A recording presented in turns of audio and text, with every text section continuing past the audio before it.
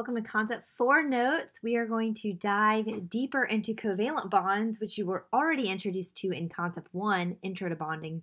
But now we're going to learn how to name them and write the chemical formulas and all that jazz, just like we did for ionic. So, just a reminder covalent compounds, which are also referred to as molecular compounds, since covalent compounds make molecules, are they just a compound formed when two or more atoms are sharing electrons and they form between non-metallic elements. Now, remember bonding is a spectrum and we know if something's going to be more ionic or covalent based on the difference in electronegativity, the delta En between two different elements. And covalent kind of has this wide range because they can be the bond can be a nonpolar covalent bond or it can be a polar covalent bond. So if the difference in electronegativity between two atoms um, exists, like if there's one at all, then that means that the bond is a polar covalent bond um, because the electrons then are unequally shared. One of them has more of a pull, a greater attraction on the electrons, so it's going to pull the electrons their direction. So, for example, look at water right here. It's um, two hydrogens, which are these blue atoms here, and one oxygen. And oxygen has a higher electronegativity than hydrogen. So oxygen is going to pull the electrons a little bit more. They're still going to share them, but it's going to pull them a little bit harder, attract them more than the hydrogens. And so we use these little deltas and the positive and negative to indicate the partial charges, the poles within this compound. Overall, this molecule is neutral and it's not an ionic compound. It doesn't have like a positive ion and a negative. It just means that this side is a little bit more positive and this side is a little bit more negative. Now this is different than when the difference in electronegativity is zero. That is uh, indicates a pure non-polar covalent bond because the electrons are equally shared. And so here's an example between two oxygen um, atoms that make O2. Notice we have none of the deltas, none of the partial charges, none of the poles indicated because there aren't poles. They would share these perfectly equally because neither one would have a stronger attraction of the E. So they're sharing those electrons fully. A reminder that the term molecule is specific to covalent compounds. It is a neutral group of atoms that are held together by covalent bonds. And a single molecule is an individual unit. It exists on its own. We can look at just one of them at a time. So, for example, here's a picture of one glucose molecule, C6H12O6. Here's a picture of one water molecule, H2O. These are both molecules. And this molecular formula is its chemical formula um, in these covalent compounds. Now, over here though, look at sodium chloride or table salt. NaCl. Notice I did not outline in purple because it is not a molecule. Also notice that I'm not just looking at, you know, one Na and or you know, and one Cl. I'm looking at this entire crystal structure that forms in a one-to-one ratio. So the NaCl indicates that there's one sodium for every one chlorine. Okay, whereas with covalent compounds, we can really just look for at one individual molecule at a time, which is unique. A term to know with covalent compounds is diatomic elements. This is when two atoms of the same element exist naturally as a molecule. So the ones that you'll need to know would be hydrogen, nitrogen, oxygen, fluorine, chlorine, bromine, and iodine or iodine or iodine. They don't exist on their own. Like when you're inhaling oxygen right now, you're inhaling O2. You're not just inhaling O. So they exist like this. And because it's two of the same bonded together, these are always forming non-polar covalent bonds. They're equally sharing those electrons. Now, in terms of stability, covalent compounds tend to still follow the octet rule of desiring 8 to get those full outer energy levels of electrons. And when we see when they share electrons and they form bonds, they can do, you know, three things. They can make a single bond, a double bond, or triple bond. So in a single bond, they're going to share two electrons. Uh, an example would be what we see in um, hydrogen, H2. So there's two hydrogen atoms. They're going to share that. And so it would form this bond. That one dash represents two electrons shared. Another example we could see is water. So we've got two hydrogen at, um, atoms, one oxygen per the chemical formula. Those will share and those will share. Um, and now notice that's one oxygen and one bond to one hydrogen, one bond to another. So these are single bonds sharing two electrons each. So Oxygen here has two lone pairs of electrons and two bonding pairs of electrons. But they can also form double bonds, which is where you're going to share four electrons between two different atoms. So looking at O2, we draw the Lewis structures for each of those atoms, which we've done also in our activity at the beginning of this unit. Those would share and those would share. So that's going to form a double bond between these two oxygen atoms, two dashes representing four electrons shared. We see this similarly in carbon dioxide. So um, you have one carbon and two oxygens. And now you may be thinking, how did I know to put carbon in the middle? So the least electronegative atom always goes in the middle with the exception of hydrogen, which is never in the middle. So carbon has a lower electronegativity than oxygen, so it's going to go in the middle. So it's going to share two electrons with this atom and two electrons with this atom, which makes four total on either side. So we end up with these double bonds on either side, a double bond with this oxygen a double bond with this oxygen. And here carbon has no lone pairs, it only has bonding pairs, um, which is interesting. And then a triple bond is just going to be six electrons are shared. So we see this when we look at N2. So they share one pair, two pairs, three pairs. That's six electrons total. And we get that triple bond there. Now, something I want to introduce you to is VSEPR theory. We're going to talk way more about this in concept five. But you may have noticed when I did some of those drawings, like with the water, I went ahead and like drew them on an angle. Or when I drew, you know, nitrogen in two, I drew it not at an angle. And that was intentional because I was anticipating what we're going to learn about a little bit later which is these Lewis structures are great, but they don't show the three dimensional shape of these molecules. They're just showing a 2D shape.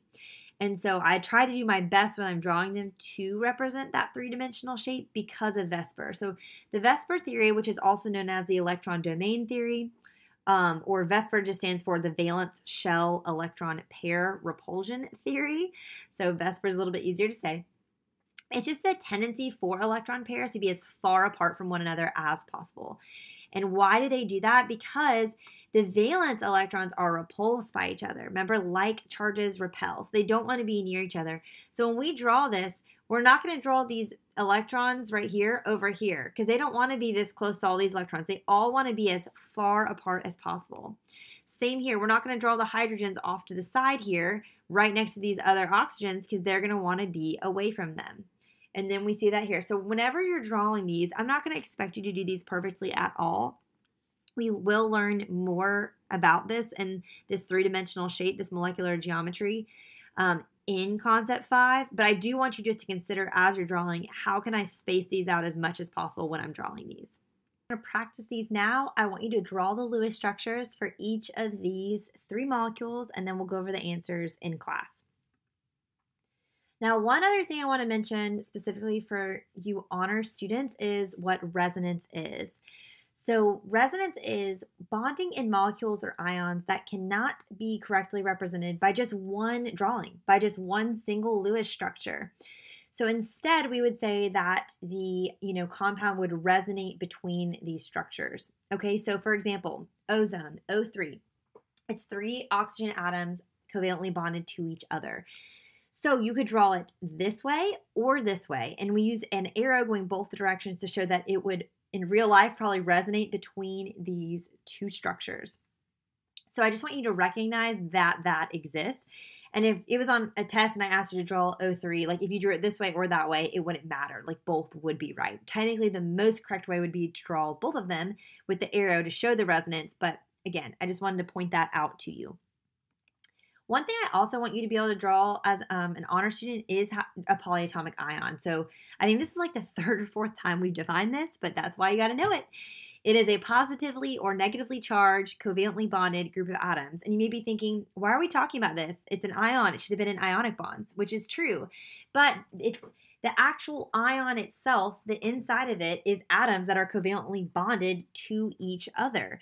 And so I want you to be able to draw those as well. And so the only difference here is based on the charge, you're going to add or take away that amount of electrons when drawing.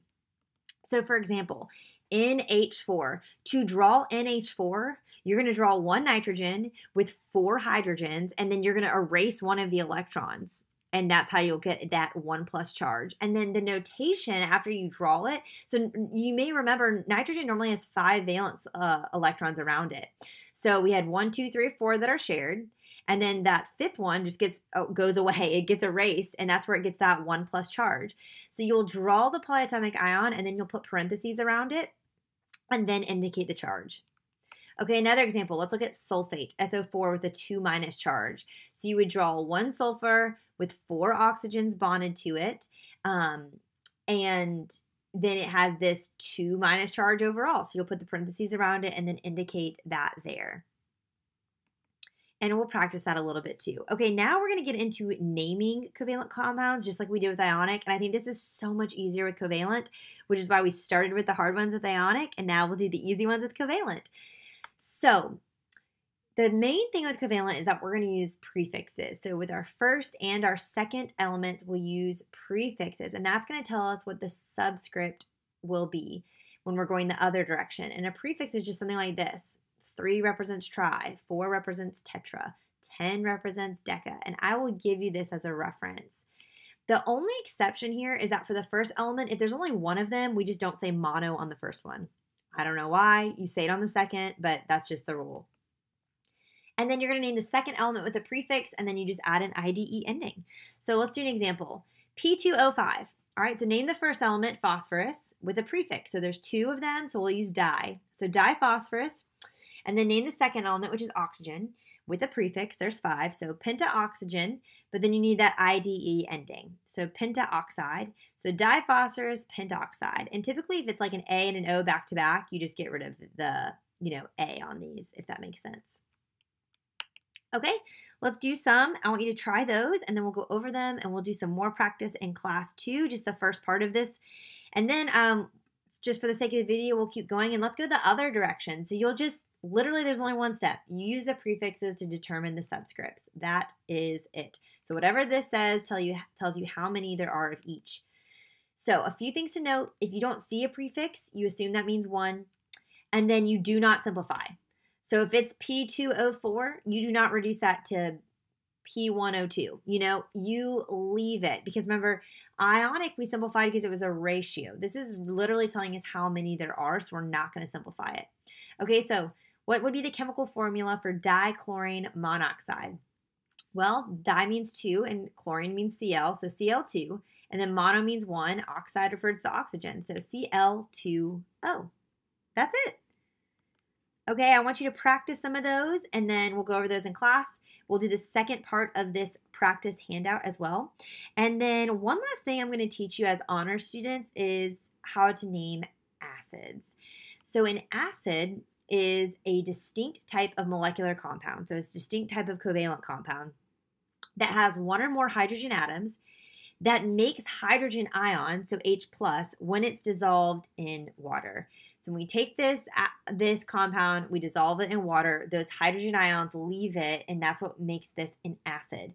And we're going to talk about this more in our acids and bases unit. But there are special rules for how to name these because they they're a little bit funky.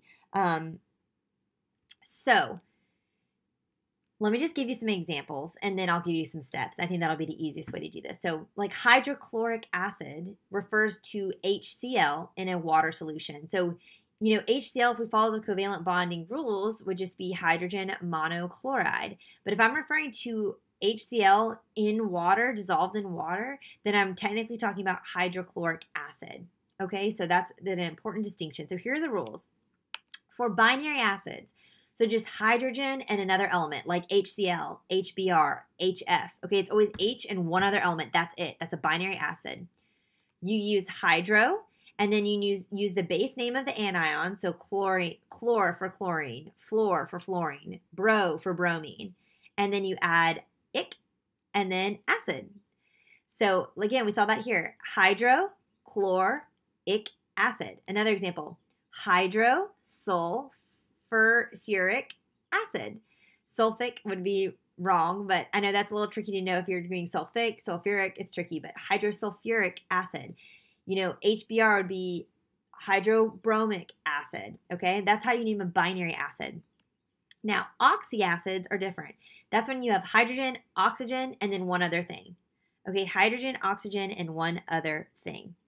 So, now, if the oxy anion has an ITE ending, so go back and look at your polyatomic ions. If it's sulfite, chlorite, something like that, then you'll use the base name and then you'll add us.